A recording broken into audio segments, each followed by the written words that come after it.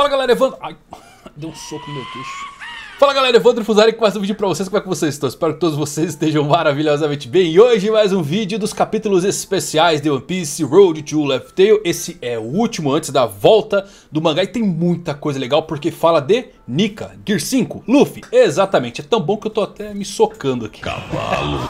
Tem coisas interessantíssimas, principalmente confirmações sobre os poderes do Luffy. Sim, é, vai explodir sua mente aí quando você parar para analisar que Luffy parece ter um potencial praticamente infinito, que seus poderes aumentam mais e mais, mas calma, já vou chegar lá. Então, antes de eu falar, aproveita para inscrever se você é novo. Se já é da pior geração, dispara o like. E agora sim vamos falar tudo sobre a jornada para a última ilha. Bom, esse capítulo especial ele abre fazendo um ranking de recompensas Gold Roger ainda é top 1 dessa lista, a maior recompensa de toda a série de One Piece. Mas eu acho muito legal, isso aqui vale até um vídeo depois listando todas as recompensas de One Piece. Talvez tenha algumas coisas que não foram atualizadas, não colocaram algumas recompensas que não foram reveladas, obviamente. Mas tem algumas coisas que dá pra gente tirar aqui de forma bem interessante. Olha só, a lista de recompensa me faz realmente pensar que narrativamente faz muito sentido para o Tite ter mais um grande momento antes do Luffy entrar em conflito com ele. Para aumentar a sua recompensa, quem sabe próxima ali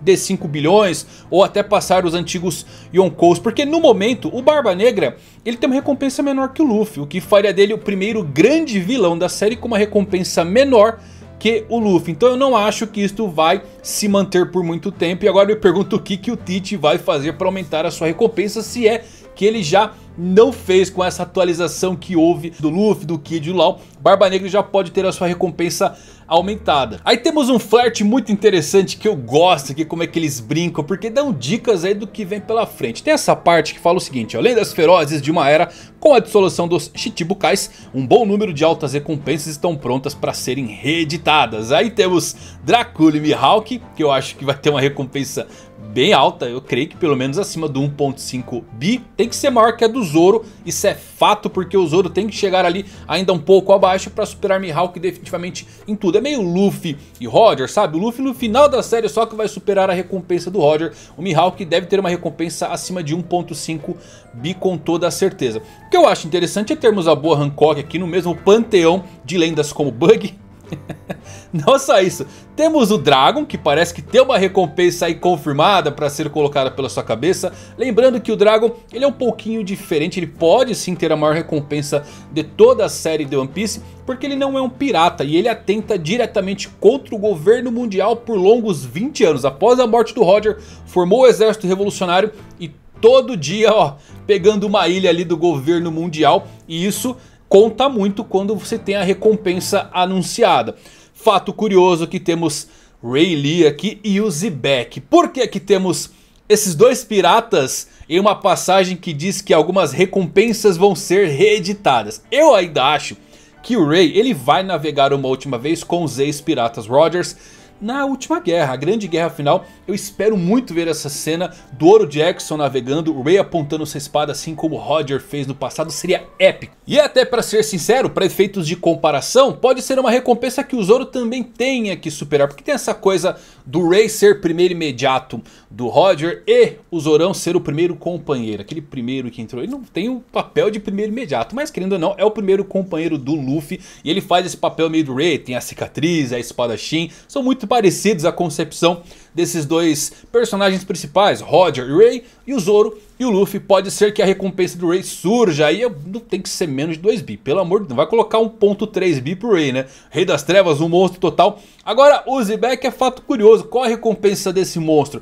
Como Roger se tornou rei dos piratas, foi o único a chegar na última ilha em 800 anos, eu não acho que seja maior que a do Roger, mas... Ele era um verdadeiro terrorista, é, tentava diretamente também contra o governo mundial, eram outros tempos, pode acabar tendo uma recompensa para lá de superior que a do Roger. Eu não acredito nisso porque Roger é o rei dos piratas, ele é o epítome, é o ápice da pirataria no mundo de One Piece. Mas muito legal termos aqui Boa Hancock dentre essas lendas e Ray e Zebek citados como tendo uma recompensa possivelmente reeditada, quem sabe voltando ativa. Zebek tá vivo? Bom, Espero que sim. Então temos os conceitos iniciais do Gear 5 e de Nika, o que eu acho deveras curioso.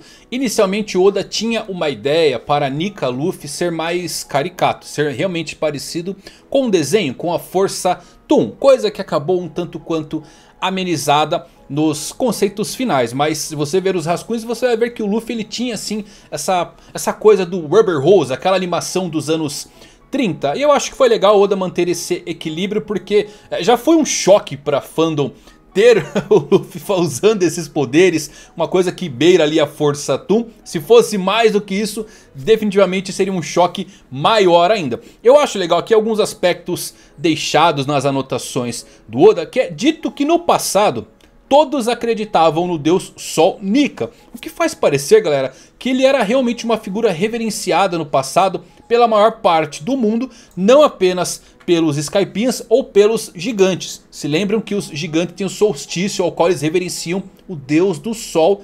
Também parecia que Nika realmente era uma divindade que atingia o mundo inteiro. Fato curioso é para saber como um século inteiro foi apagado para fazer as pessoas esquecerem sobre Nika e o Deus do Sol. Hoje só vive em lendas, tem essa parte dos escravos recontando é, essas histórias do Deus libertador. Mas esse é um ponto muito legal que liga diretamente ao século perdido. Aí uma coisa acaba me chamando a atenção e pode passar despercebido numa primeira leitura. Mas nessas notas falando sobre a quinta engrenagem, está circulado como a fruta do diabo. Dá uma conotação muito interessante, não é somente Akuma no Mi, é a Akuma no Mi, a fruta do diabo.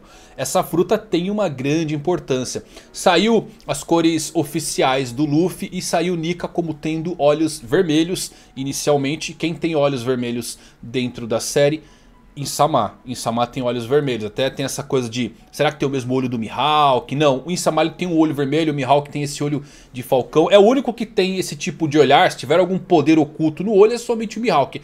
Mas a transformação do Luffy em Nika tem um olhar muito semelhante a Insama. O que, que isso quer dizer? Pode ser que a Insama se tiver uma Akuma no Mi, que eu acho que faz total sentido, visto que é um poder que está ligado diretamente aos segredos do mundo, pode ser um oposto à fruta de Nika. Nika tem diversas inspirações, mas é um conceito original do mundo de One Piece. Faz parte do panteão do mundo de One Piece. Insama pode ter a fruta exatamente oposta. Isso eu gosto muito daquela coisa que eu sempre falo, né? Que o mar odeia quem consome as frutas do diabo, mas Imu, ao contrário, o Mi, oceano, mar, então pode ser Insama que odeia os usuários e tem um poder relacionado sim ao mar, ao deus da chuva. Então é muito legal essa conotação de a fruta do diabo. É a fruta essa aqui, por isso que o Shanks foi atrás dela e o governo mundial tentou esconder. Tem sim uma ligação maior com os acontecimentos finais. Outra coisa que eu acho muito legal aqui tá assim, Nika é capaz de conquistar as pessoas e o Oda ele riscou essa parte. Por que que isso é muito importante galera?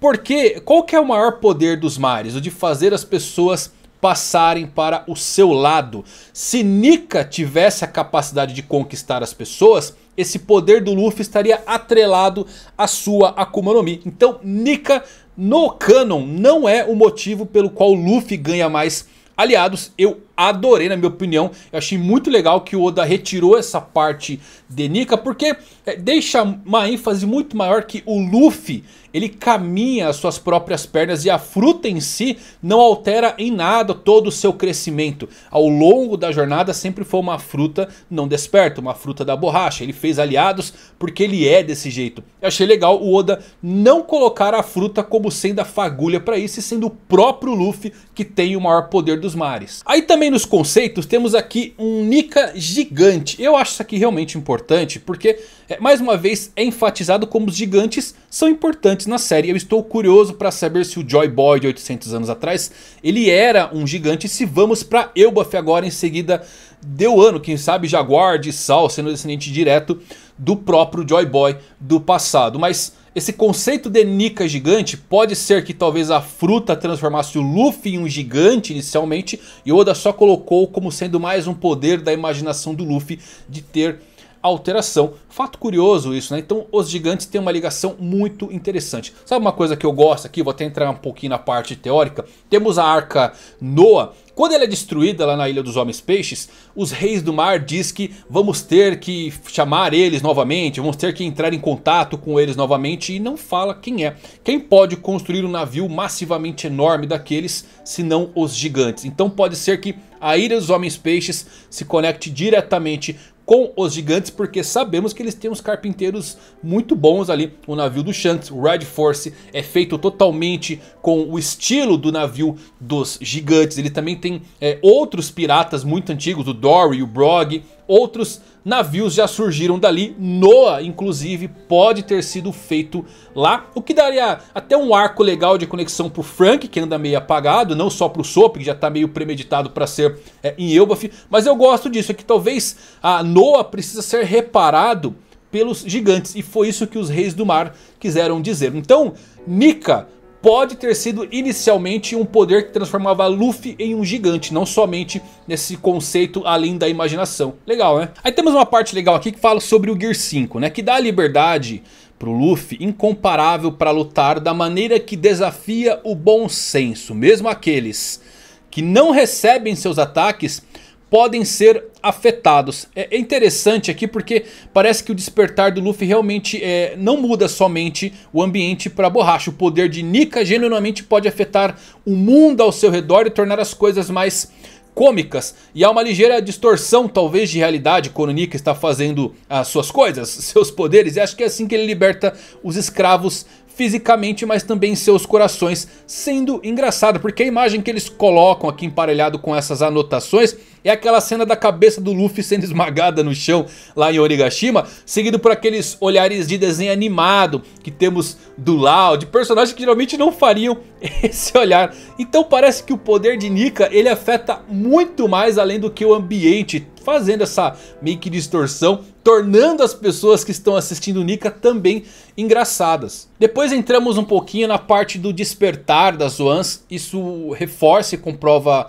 é, diversas coisas, coisas que eu até já havia falado em alguns vídeos, mas é sempre bom o autor vir e dar um check, colocar realmente como funciona o despertar, porque não temos tantos Zoans despertos agora no arco de Wano e o que exatamente aconteceu com Luffy seu despertar. Olha só, o Oda ele se concentrou no despertar do Zoan pro Luffy, colocando que sim, ele corrompe a personalidade do seu usuário. E o G5 vimos como afetou a personalidade do Luffy, mas ele ri muito, porque Nika é um personagem extremamente engraçado. Então depende do tipo de Zoan, galera. Quando se tem o despertar. Utilizam aqui até os prisioneiros de Down para dar ênfase. Como eles eram bestas carcereiras, animais, o despertar acaba tomando o controle do seu usuário. Como o Luffy era um humano, isso não afetou tanto. Chopper pode ter um despertar muito poderoso, mas vimos um pouco disso no seu Monster Point porque foi um despertar forçado por conta da Rumble Ball. Eu acho que até por isso que não tivemos uma ênfase no Kaido, porque ele perderia completamente e o controle seria um dragão assumindo. Aí temos uma confirmação muito legal, galera. Se você já acompanha os vídeos aqui do canal do One Piece, deve se lembrar dessa passagem específica aonde a tradução oficial em inglês acabou cometendo um equívoco. É natural, talvez eles não acharam que a linha fosse tão importante, mas houve um erro de tradução oficial. Por quê? Porque no japonês, o ele diz aqui para o Luffy que Quanto mais ele ri, mais algo acontece. Coisa que vemos que na tradução não sai isso. Só como se o Luffy apenas estivesse rindo de empolgação. Mas não, Kaido é bem enfático em dizer que quanto mais o Luffy ri, mais algo acontece. E aqui finalmente temos a confirmação do que acontece quanto mais o Luffy ri. Ele fica mais forte. Então quanto mais o Luffy ri, mais poderoso ele fica. Qual o potencial do Luffy?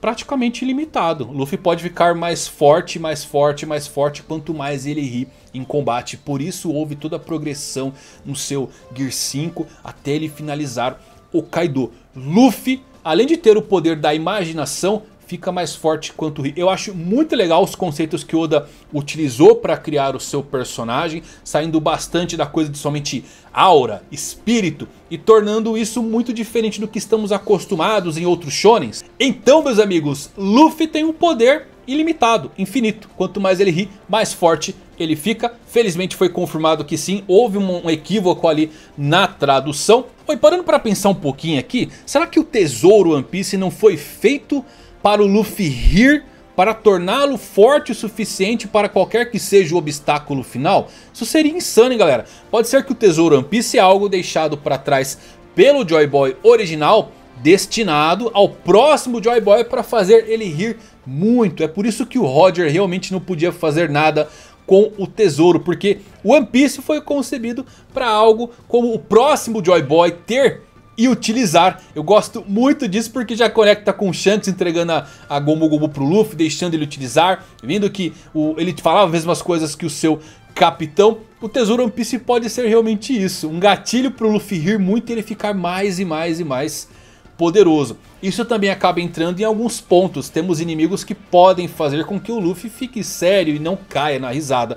A Kainu é um deles. Como o Luffy vai sorrir em uma luta contra alguém que matou o seu irmão. Ou mesmo o Barba Negra que pode também fazer alguns feitos bem terríveis. Está ligado diretamente também na morte do Ace e o Luffy talvez não tenha tanta empolgação. Então depende completamente do seu espírito de luta nesse ponto. Muito legal porque o Oda ele vai se valer desse ponto mais sentimental do Luffy. Não uma quebra de espírito como aconteceu em Marineford, mas que pode prejudicar sim o uso dos seus poderes. E aí pode entrar o Tesouro One Piece fazendo o Luffy rir infinitamente ficando mais forte. Então esses são os poderes de Nika Luffy. Deformação da realidade e poder adaptativo são habilidades sem dúvidas do fim do jogo para a série The One Piece. Depois do finalzinho temos aqui uns sketches, é bem legal vermos é, como seria o relacionamento de Yamato e Fuga, o que acabou não sendo expandido. E também temos algo aqui sobre Izo